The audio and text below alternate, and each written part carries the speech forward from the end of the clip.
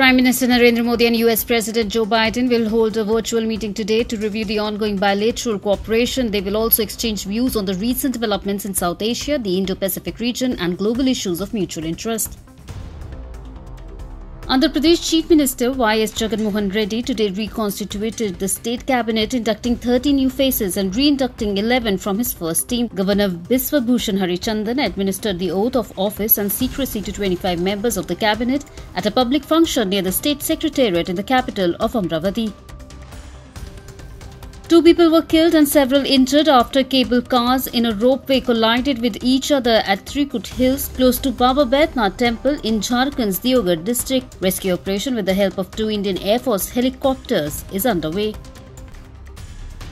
Six workers were killed in a blast which triggered a fire in a chemical factory in Gujarat's Bharuch district. The incident took place around 3 am in the unit located in the Dahej industrial area some 235 kilometers from Ahmedabad. Communal clashes erupted in parts of Gujarat, Madhya Pradesh, Jharkhand, and West Bengal on the occasion of Hindu festival of Ram Navami.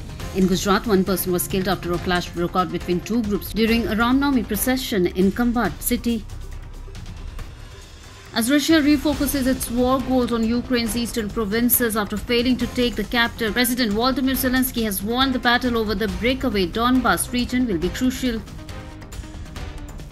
Shehbaz Sharif was elected unopposed as the new Prime Minister of Pakistan by Parliament today after rival candidate Shah Mehmood Qureshi announced that his Pakistan Tehreek-e-Insaf party will boycott the voting and staged a walkout. Shehbaz, the younger brother of former three-time Prime Minister Nawaz Sharif, received 174 votes to more than the simple majority of 172.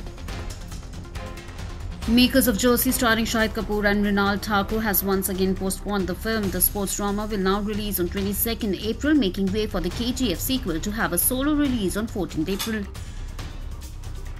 The 21st match of the Tata IPL 2022 will see Sunrisers Hyderabad facing off against Gujarat Titans. Hyderabad and Gujarat have played three matches in this season where Hyderabad has one win and Gujarat is the only unbeaten team in the tournament.